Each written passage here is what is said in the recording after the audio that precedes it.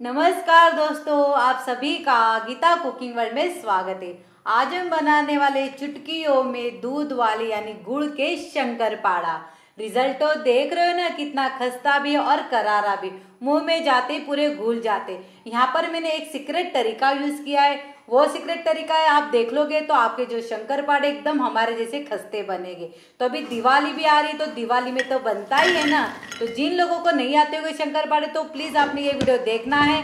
और वीडियो हमारा कैसे लगा तो प्लीज़ हमें कमेंट करके ज़रूर बताना है। और चैनल पे नए होगे तो लाइक करें शेयर करें सब्सक्राइब करना ना भूलें। चलो फिर बातें कम करते रेसिपी बनाना स्टार्ट करते हैं। तो यहाँ पर हमने एक बर्तन लेना है। अभी जो शक्कर पाड़ा हम बना रहे बिना शक्कर के तो यहाँ पे हमने गुड़ लिया है। तो जो कटोरी का नाप हम सेट करते वही कटोरी नाप हमें लास्ट तक रखना है दोस्तों। तो एक कटोरी हमें यहाँ पे बिना चिक्की का गुड़ लेना है। इससे शक्कर पाड़ा बहुत ही खस्ता बनता है। अभी जिस नाप से हमने गुड़ लिया था, उसी नाप से हमें वही कटोरी से हमें एक कप दूध लेना है। अभी उस कटोरी के नाप से हमने घी लेना है। है ना, एकदम सिंपल सा नाप? अभी यहाँ पर हमने गैस पे बर्तन रख लिया है, अभी इसे हमें अच्छी तरह से गर्म कर लेना है। हाथों से एक बात का ध्यान देना है, यहाँ पे हमने चाशनी वगैरह नहीं करना है। सिर्फ़ जो तीनों चीज़ हमने डाली थी, गुड़ और दूध और घी, वो अच्छी तरह से मिल जाए। अब यहाँ पे आप देख सकते हो, इसे कड़क उबाल आ गया है पानी को। परफेक्ट अभी गैस बंद कर देते हो, इसे ठंडा होने को रख देते सिर्फ़ गुनगुना करना है, ज़्यादा भी ठंडा करना नहीं है, नहीं तो घी जम जाएगा।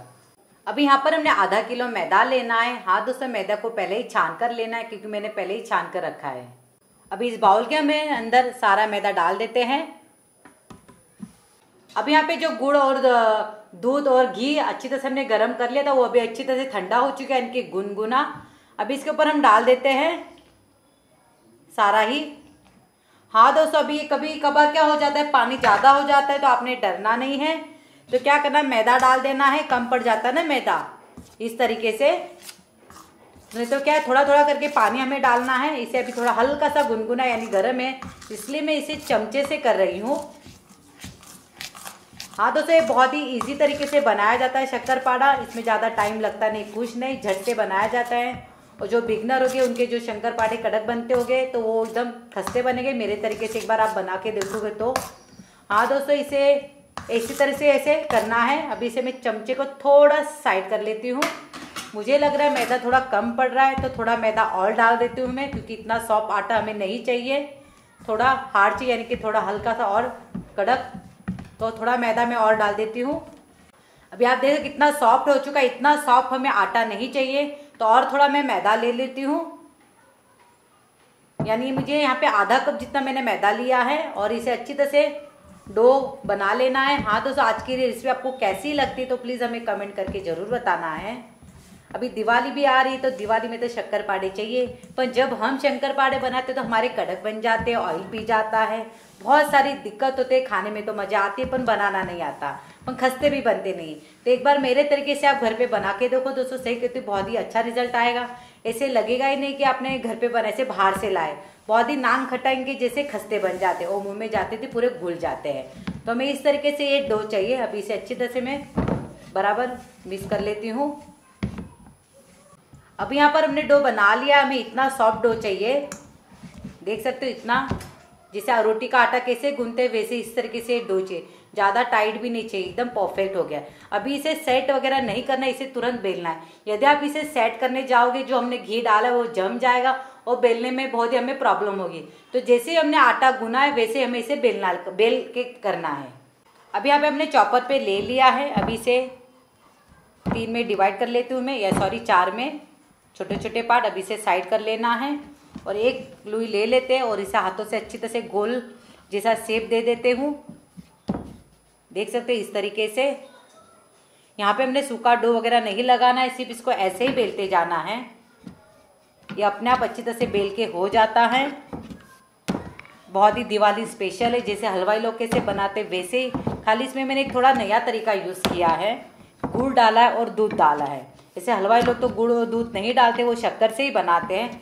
पर अभी बहुत सारे जगह क्या है, शक्कर खाना कोई पसंद करता ही नहीं, गुड़ ज़्यादा खाते।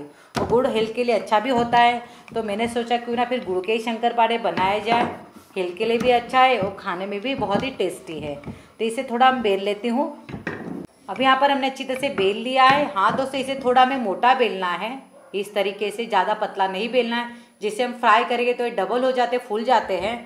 अब यहाँ पे हमने चक्कू लेना है और चक्कू के सहायता से हमें इसे कट करते जाना है। आपको साइज़ कौन सी बड़ी या छोटी चाहिए, आपके हिसाब से कर सकते हो। यहाँ पे मैं ज़्यादा बड़ी भी करूँगी नहीं और ज़्यादा छोटी भी नहीं करूँगी। एकदम मीडियम साइज़ में इसे कट करूँगी। जैसे जैसे आप इसे बेलते हो, वैसे वैसे ठंडा होते जाएगा क्योंकि घी जम जाता है ना। अभी आपको लगता होगा बहुत ही पतला डो बना दिया है, अभी कैसे करें? नहीं दोस्तों, इस जैसे हम अभी इसे कपड़े पे रखेंगे ना तो फिर ड्राई हो जाएगा। अभी इसे इसे कट कर लेना है। देख सकते हो मैं थोड़ा बड़ा साइज़ कर रही हूँ तो इस तरीके सारे कट कर लेती हूँ, क्योंकि वीडियो बड़ा हो जाता है इस तरीके से। अब यहाँ पे मैंने सारे कट कर लिए हैं। अभी से एक कपड़े पे हम रख लेते हैं। देखो, जैसे मैंने क्या पूरा ड्राई हो चुका, वो इजीली ये निकल जा रहा है। इस तरह के हाथों से ही। अभी से एक नेपकिन में हम रख लेते हैं किचन टॉवल पर। अभी यहाँ पर हमने ऑयल गरम कर लिया और चेक भी कर लिया। हाँ दोस्तों, अभी जो हम शंकर पाटे बना रहे यानी फ्राई कर रहे हैं तो इसमें हमें ऑयल ऐसे चाहिए, ज़्यादा गर्म भी ऑयल चाहिए, और ज़्यादा ठंडा भी ऑयल चाहिए, एकदम मीडियम ऑयल चाहिए। अभी इस झारे के अंदर हमने सारे शंकर पाटे निकाल लिए हैं। देख सकते हो, अभी से हमें इसे डालते जाना है। अभी स्टेज पे हमें थोड़ा गैस फास्ट करना है, और जब हमारे जो शंकर पाटे ऊपर आ जाते हैं, तब उस स्टेज पे हमें गैस की फ्लेम धीमी करनी। ये इसका सीक्रेट तरीका है दोस्तों। अभी इसे तुरंत डाला तो इसे टच नहीं करना है, थोड़े टाइम के बाद इसे टच करेंगे। ये अपने आप ऊपर आ जाएँगे और खिल खिले बन जाएँगे। देख सकते हो रिज़ल्ट आपके सामने है। अब यहाँ पे आप देख सकते हो, सारे शंकर पाड़े ऊपर आ चुके इससे समझ में आता है कि हमारे जो शंकर पाड़े कितने खस्ते बन रहे हैं। अभी इस स्टेज पे हमें गैस की फ्लेम थोड़ी मीडियम कर लेनी है और इसे जब तक फ्राई करना है, जब तक इसका कलर गोल्डन ना हो जाए। और बहुत ही अच्छी तरह से फूल कर आ गए दोस्तों, और खस्तापन भी बहुत अच्छा है। जब हमारे शंकर पाड़े तले पे चिपक जाते तो समझ में आता है कि कड़क बन गए, और जब तेल के ऊपर आ गए तो समझ में आता है कि बहुत ही खस्ता बन गया ये इसका टिप्स है। तो आपने नोट करना है और रेसिपी आपको हमारी ये कैसी लगी तो हमें बताना है कमेंट करके। अब यहाँ पे देख सकते हो, एक जैसे हमारा गोल्डन कलर आ चुका है। रिज़ल्ट आपके सामने है। बबल्स भी पहले से बहुत कम हो चुकी है। और यहाँ पे मैंने गैस की फ्लेम धीमी रख ली थी। और इसे धीमे पे हमें इसे अच्छी तरह से फ्राई किया है पाँच मिनट तक। रिज़ल्ट आपके सामने ऑयल थोड़ा भी पिएगा नहीं, इस बात की मैं आपको गारंटी दी तो इस दिवाली में आपने बनाना है और कैसे बने तो हमें बताना है। तो इस तरह के सारे शंकर पाड़े में इसे फ्राई कर लेते हैं। तो देखा ना तो सबने कैसे बना दिया नए स्वाद के साथ गुड़ वाले शंकर पाले। इसमें हमने दूध का फ्लेवर दिया हुआ है। मैं आपको एक लेके बता देती हूँ, देख सकते हो ऑयल थोड़ा भी नहीं है। और तोड़ के भी बता देती हूँ, यानी कितना खस्ता है, मुँह में जाते पूरी घुल जाती है, एकदम चुटकियों में हमने बना लिया हुआ है। रिज़ल्ट आपके सामने जैसे नान खटेंगे से तो वैसे इसका रिज़ल्ट आया हुआ है। आप इसे एक महीने तक स्टोर करके भी रख सकते हो। अभी दिवाली भी आ रही है तो दिवाली में इजीली बन जाती है एकदम झटकी पट चुटकियों में। तो आज की रेसिपी आपको हमारी कैसी लगी तो कमेंट करके ज़रूर बताना है। और चैनल पे नए हो गए तो लाइक करें शेयर करो सब्सक्राइब करना ना भूलें।